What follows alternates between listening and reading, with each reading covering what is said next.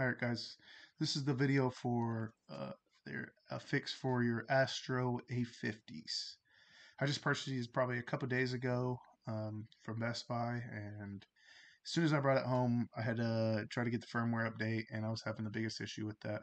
So my issue started with um, connecting it to my PC and then once I got it onto my PC it wouldn't um, it, it give me a prompt me to update and it update and then it would say the base was updated but the headset wasn't. And then it would get to 33% and it would never get past that. It would say it would end or say corrupt or something.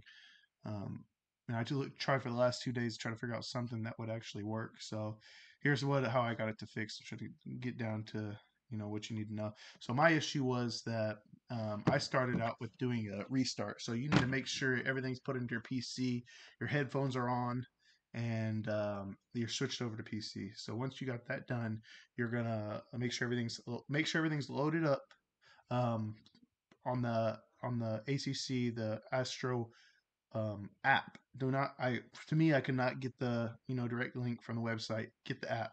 Once you get the app on there. Um, and you get them get them connected and they show up uh, once you see your update push both the buttons to restart to factory restart hard reset 10 15 seconds um, once that's that's up uh, it should prompt on your screen saying that you need to get an update.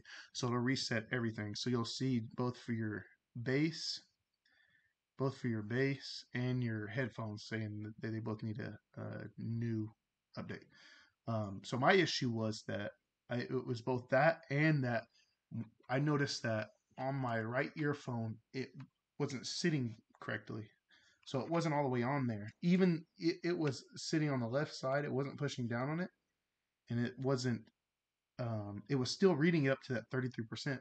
So make sure you have to. I'm, I'm I'm serious. Make sure your earphones are sitting flush on both sides, especially the right side, because on the right side, this right, on the right side, it has one.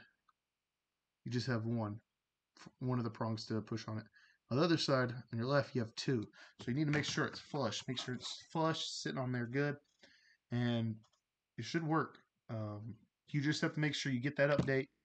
Make sure you get the update um, off the reset, and you make sure you reset everything and then make sure the headphones on there and make sure they're flush.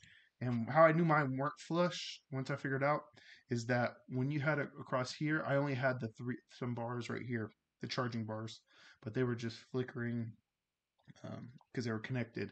But once it was flush, I noticed I got it flush. It had other stuff on this side. It said like one, two. It has could be one, two, or three, depending what button you push, a star or the headphone. But you'll have more stuff over here. So that's how you know you're completely connected.